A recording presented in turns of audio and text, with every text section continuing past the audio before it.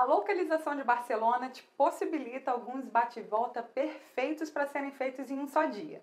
Você que está pensando conhecer a maravilhosa cidade de Catalunha, pode combinar uma visita em Barcelona, outras bem pertinho, que vão te deixar super encantado.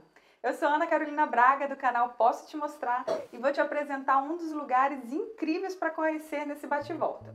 Tarragona. Essa cidade respira história e nos faz conhecer mais sobre a Roma Antiga.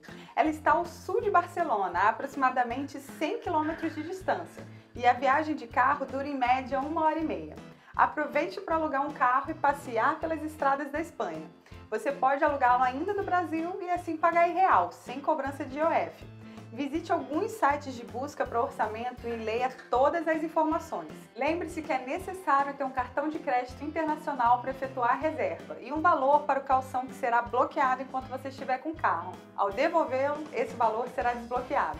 O caminho é quase todo com vista para o mar Mediterrâneo e fique de olho porque esse trajeto possui pedágios. A dica é sair de manhãzinha e pegar as autovias, que são bem sinalizadas até a chegada em Tarragona. As ruas do centro histórico são bem estreitas e como tudo é pertinho, eu aconselho estacionar próximo à Catedral de Tarragona.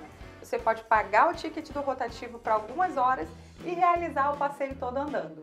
Alguns passos você chegará a um ponto de informações turísticas e conseguirá gratuitamente o mapa do centro, podendo traçar o seu caminho da melhor maneira que desejar. Lá mesmo você pode comprar um pacote combinando algumas atividades e com isso você terá um desconto nos bilhetes.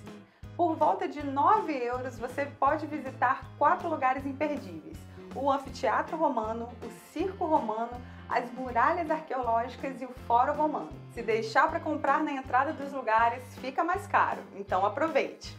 Outra coisa que você pode já aproveitar e fazer agora é curtir esse vídeo e se inscrever no canal.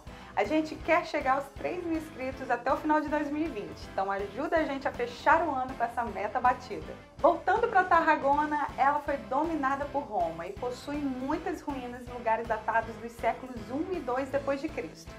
Dessa época, o anfiteatro romano foi construído para caber de 15 a 20 mil pessoas e nesse lugar aconteciam os espetáculos de gladiadores e animais.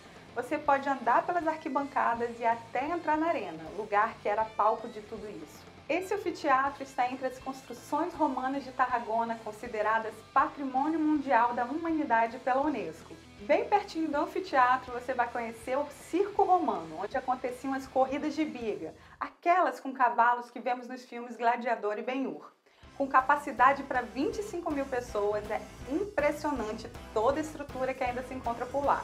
Existe uma sala no subterrâneo que exibe vídeos reconstruindo o circo originalmente. E anexo a ele está o Pretório, uma grande torre da época romana que mais tarde, no século XII, foi convertido em palácio e depois em cadeia. As vistas de Tarragona do alto do terraço são espetaculares.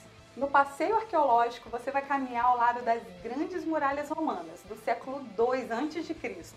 e que hoje é a maior construção romana preservada fora da Itália. As muralhas foram reforçadas no século XVI e XVII para melhorar a defesa da cidade, e é possível ver as diferenças das construções. Rodeie os muros e suba até o ponto mais alto da cidade. A vista vale a pena. No site oficial da cidade você confere os horários e valores de todos os lugares já que os preços variam conforme a época do ano. Eu vou deixar o link aqui na descrição do vídeo. Saindo dos passeios históricos, você também pode caminhar pela Rambla, a rua principal onde não passa carro no meio, naquele mesmo esquema lá da de Barcelona, e admirar as lojas e restaurantes. Eu te aconselho a escolher um lugar para comer no meio da praça, onde você consiga admirar a linda paisagem do mar Mediterrâneo enquanto bebe algo para se refrescar. Nós visitamos a cidade no final do outono e enquanto em Barcelona estavam 18 graus, lá em Tarragona fazia muito calor. Então, se você for nessa estação, leve casaco, mas vá com roupas confortáveis por baixo, caso você precise tirar. Aí, pertinho de Tarragona, existem uns parques bem conhecidos o Parque Ferrari e o Porte Aventura. Eles ficam um do ladinho do outro e a 10 minutos da cidade. Então, se você curte esse tipo de passeio, você pode reservar um horário para essas visitas. Infelizmente, no dia que fomos, eles estavam fechados e, para falar a verdade, nós nem sabemos o porquê. Não havia nenhum aviso no site Mas se você for, aproveita e conta pra gente como foi, só para matar a gente de inveja. Você também pode reservar um local próximo para um pernoite e aproveitar ao máximo a cidade e os parques. E se você curtiu esse vídeo, deixa o like aqui embaixo, se inscreva no canal e compartilhe com quem gosta desse tipo de conteúdo.